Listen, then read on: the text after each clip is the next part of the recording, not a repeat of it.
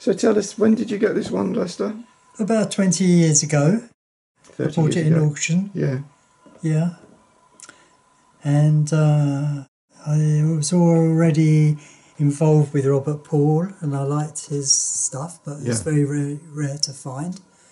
I'd found a carbon arc uh, lamp which I'd bought with his name on it, and then this came up at auction. Yeah, nice And, uh, projector mechanism, which has the details on it, and it's a very rare century. So obviously, from as it says on the patent listing, 1899, 1900. It starts the patent listing with 1896 because it's a century animatograph, and the first theatrograph or animatograph patents were around that time. But obviously, this has changed somewhat in terms of the mechanism um, not in concept, but in design detail.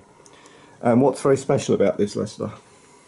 It has only got three cutouts on the star mechanism. Yeah, what we might call a star mechanism, even though it, it doesn't have the, it's got three slots, but not the usual crescents.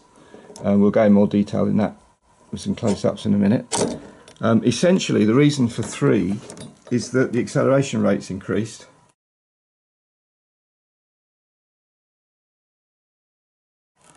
Or the uh, pull-down rate. So there's less of a blanking period on the screen. So you see the picture, each picture for longer on the screen, and the pull down period is reduced. Hence, the shutter is very small, almost like a knife blade. Small section of that uh, 360 degree circle of the shutter.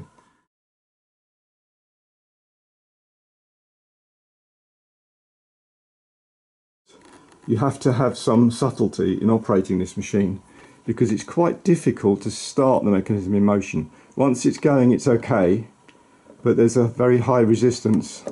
Yeah, when you get it sort of locks. But we have just determined that it will happily project a film. The biggest problem in terms of doing that is that, as you'll see, there are sprocket pads, guards, sprocket rollers to hold the film onto the sprocket and the top one is missing. You see the holes here where it would have been. And what that means is obviously the reason for that top sprocket, which was an addition from, you know, which they designed about 1895 6, was that uh, otherwise the film goes directly into the gate and you're putting a lot of pressure on, on the film as it comes down with the weight of the film on the spool.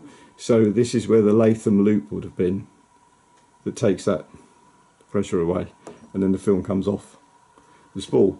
Uh, we could still use this as a projector as we just um, tried by putting the film, having the film going directly in the gate and missing the top sprocket, and it projects very happily. Yeah, so um, quite a nice solid gate there, and uh, possibly a replacement spring or just a cleaned up spring. We're not sure, but that still works well. And what's really, yeah, the the, uh, the lens goes up and down on the little thumb screw, so you can frame the picture reasonably. Of course, if it's completely out of frame in the gate, you won't be able to do much but relace it, but it gives you some latitude.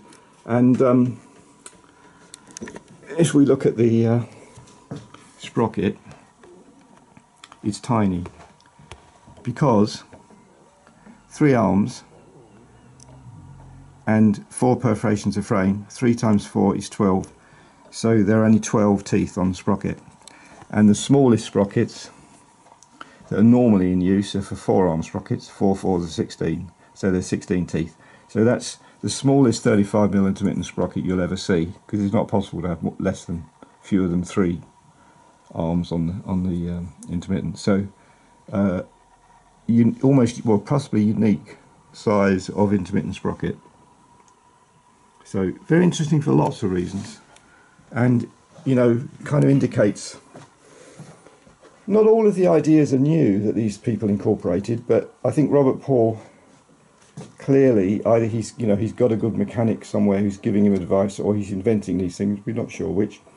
But the idea of the three cross, three arm cross, or three slot cross because it doesn't have arms as such, um, was ingenious. I think it might be the reason why some operators said, "Oh, we don't like roll call machines; they chew the film up, and you know we got they jam up and stuff." Is because they didn't quite have the finesse. And Lester has the finesse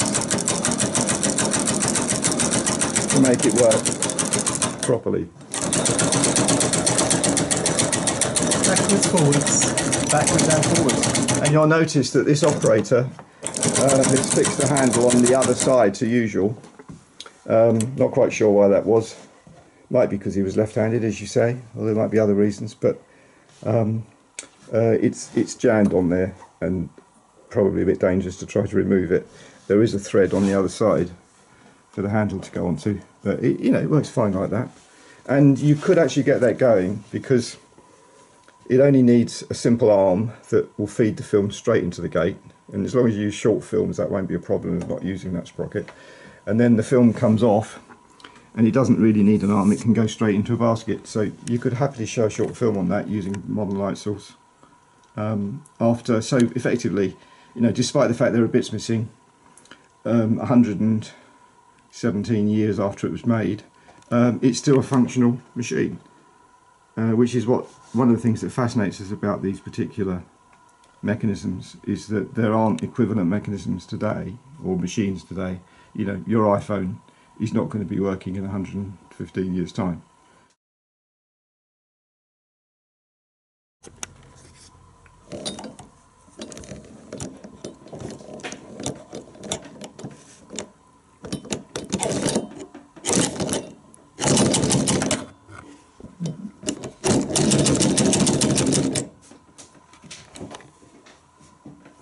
There's a sprung arm here, yeah, that just falls into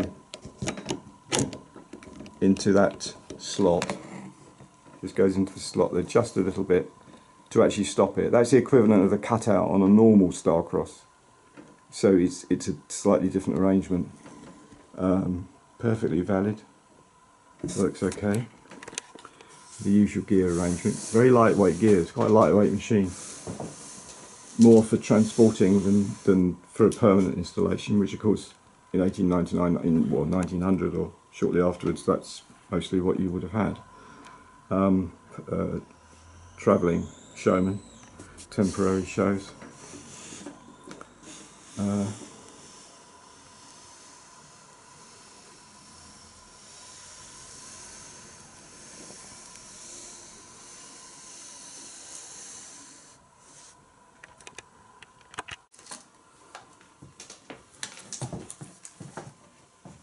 I've got to remember which way.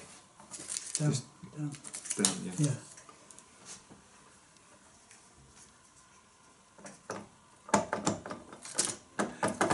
Yeah. Well and in. Here you go, sorry.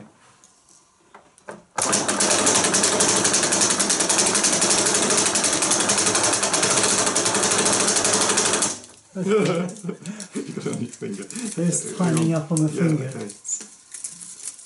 I should mention this is totally scrap film, so we don't have to worry about that.